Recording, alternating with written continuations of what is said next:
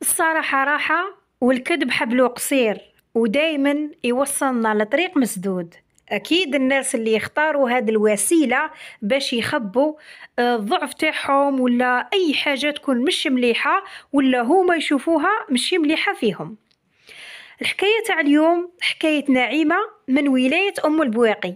نعيمة حكايتها جد مؤثرة وفيها عبرة كبيرة لكم إن شاء الله تسمعوها للأخير وتستفادوا.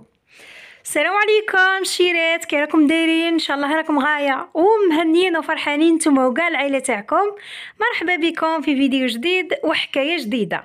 الحكاية تاع اليوم كما شفتوا في بداية الفيديو حكاية نعيمة. أه بغات تحكي لكم حكايتها باش تاخذوا منها العبرة وفي نفس الوقت عندها طلب باغية تطلبه منكم. نتمنى منكم تشوفوا الحكاية أو تسمعوا الحكاية للأخير وما تنساوش تبارطاجوها وديروا لي جام واللي دخلوا معنا جدد نقول لكم مرحبا بكم شرفتوني ونورتوني. ويلا الشيرات نبداو الحكاية تاعنا على بركة الله. تقول نعيمة في عمري 36 سنة مخطوبة في عام ونص. كي كان في عمري 18 سنة مات بويا. وبعدها بعشر سنين زادت ماتت امه وقعدت في دارنا أنا وأختي. بعد عامين ثلاث سنين تزوجت أختي وقعدت الدار خاوية. جا خويا الكبير قال لي أنا نسكن معاك باش ما تقعدش الدار خاوية وقاع. راكم تعرفوا مشي جاية يخلوني ساكنة وحدي. زاد خويا وخد آخر كان كاري ومغبون قال له تاني أنا نجي نسكن معاكم. مالغري كي كانت امه حية وبويا حي قاع ما كانوش يجوا عندنا وما بغاوش يسكنوا معانا. يعني تحملوا الكريه وما بغاوش يتحملوا العيشة مع ما وبويا. لا علينا.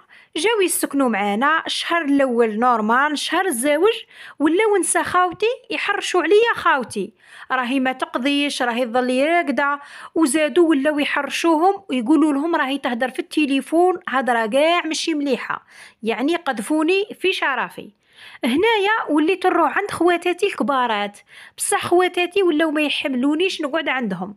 كي نلحق سيمانة ولا يقولوا لي رجعي للدار. شراهم قاعدك عندنا ورجالتنا ما يبغوش. وكنت ندابز أنا وولادهم. حتى بنات أختي وكانوا يديروا لي المشاكل. وليت نرجع للدار ونتحمل الظلم تاع نسا خاوتي. وكنت نروح عند عماتي ونقعد نشكي لهم وعند صاري فيا وكاع هما كانوا يقولوا لي غير تزوجي وأنايا مانيش عارفة علاش ما كانتش الفكرة تاع الزواج في راسي. بصح بديت نخمم يعني عماتي دخلوا لي هذيك الفكرة في راسي. وحتى خواتاتي قعدوا يقولوا لي أنتي لازم تتزوجي وديري دار وتتهني من هاد المشاكل وقعدت نقارع المكتوبي. دوك يجيني مكتوبي دوك يجيني مكتوبي. حتى اللي وصلت ل 28 سنة ما كاش اللي جا خطبني. يعني المكتوب تاع ربي مازال ما لحقش. لا علينا. أنا عندي واحد الخلصه مخليها لي بويا.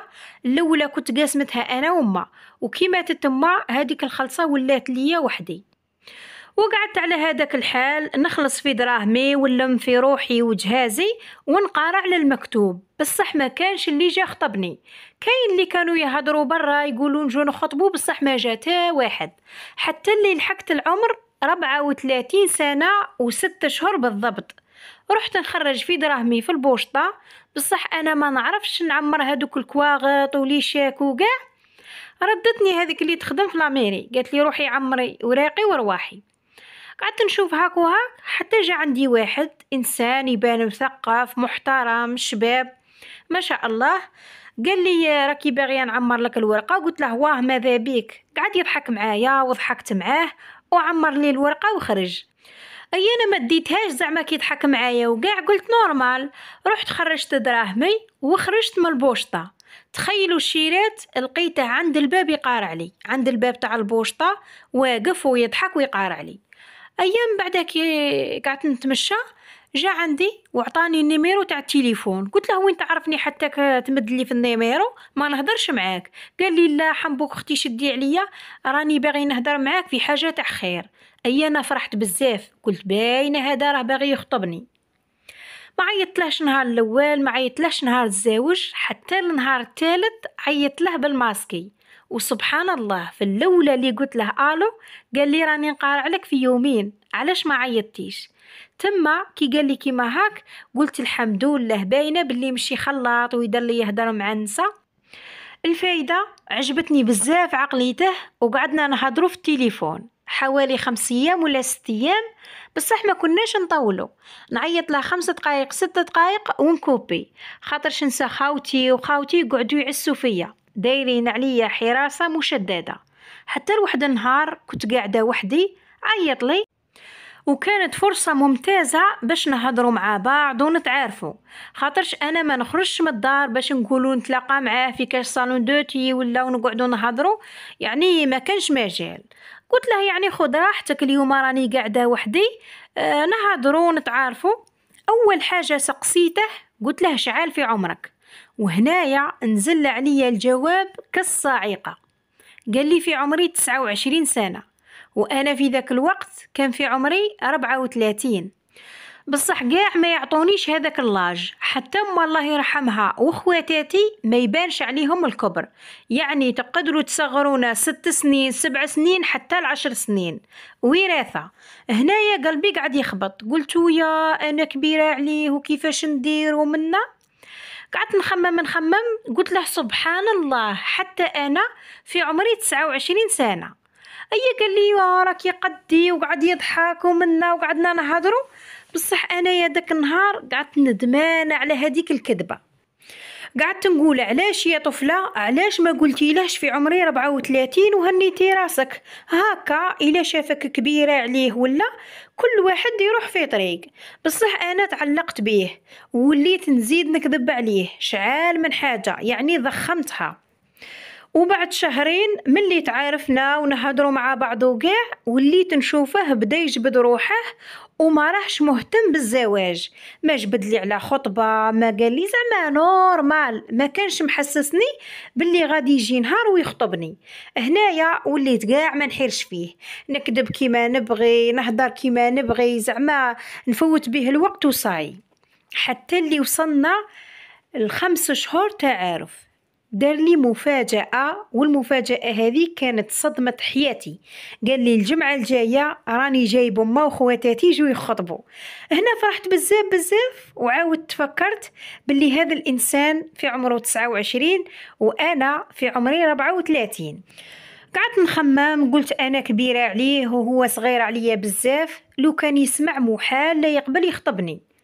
وتمتم عاود قلت علاش لا من هو باغيني ونبان له صغيرة؟ بالك يقبل. بصح ما بغيتش نخبرها الحقيقة. قلت خلي حتى يجي يخطبني ويجيب دارهم ومن بعد نحكي له كل شيء. إلا راه باغي يقعد معايا. صحة وإلا ما راهش باغي كل واحد يروح في طريق. وكما كان الحال. جاو خطبوني وشافوني وما لاحظوش قاع فرق السن اللي بيني وبينه. وكما قلت لكم ما كانش اللي عطاتني السن تاعي يعني شعال من وحدة تصغرني بخمس سنين ست سنين. وكنت دايما نقعد نبكي علاش يا ربي؟ كاين اللي بانوا كبار عليا وهما صغار وتزوجوا راهم بولادهم. وكاين حتى اللي قاع مشي شابين وتزوجوا. غي أنا اللي المكتوب تاعي تأخر. وهكاك وكنت نحمد ربي ونستغفر. المهم بعد الخطبة ولينا نهضروا مع بعض. بصح ما قدرتش نصارحه ونقول له في عمري ربعة وثلاثين.